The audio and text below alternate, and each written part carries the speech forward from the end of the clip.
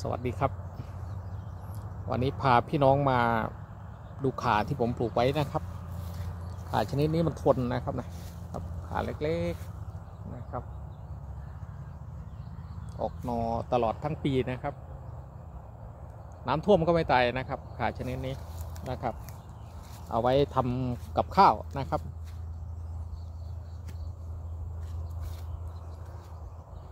นะครับเนี่ย ต้นเดิมพี่ชัยผมปลูกไว้นะครับครับ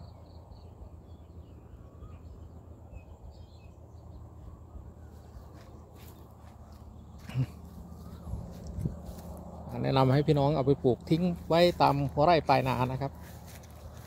อยู่ได้สบายนะครับ มีมีขากินตลอดทั้งปีนะครับ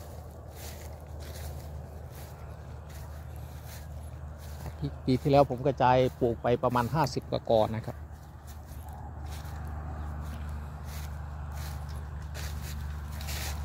ตามมาดูจุดจุดนี้นะครับเนี่ยครับ สู้กับยาคาได้สบายนะครับให้ดูครับพี่น้องครับ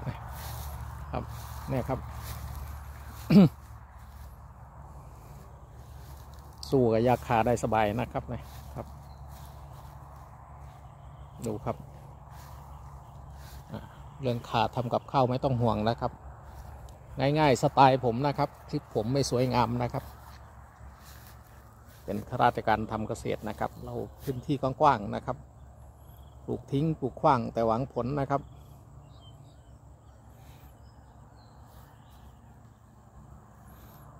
โซนตรงนี้ก็จะเป็นเอาไว้เลี้ยงมดแดงนะครับนะครับเนี่ยครับ เหมือนคลิปก่อนนะครับต้นขี้เหล็กนะครับนี่ครับ เยอะนะครับ ต้นไม้สวนผมนะครับครับพาวนมาดูขาตรงนี้อีกรอบหนึงครับ เอาให้กระจ่างกันไปเลยนะครับ ให้ชัวร์นะครับรับประกันว่าน้ำท่วมก็ไม่ตายนะครับ แห้งก็ไม่ตายนะครับ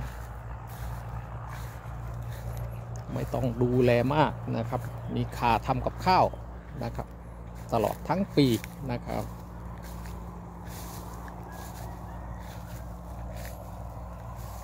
ดูโซนทางนี้นะครับเนี่ยรับประกันว่าทนนะครับเนี่ยครับอันนี้ก็ยังรอดอยู่นะครับ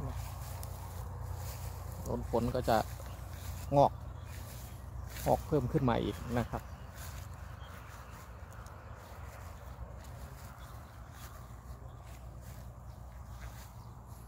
คลิปผมเป็นคลิป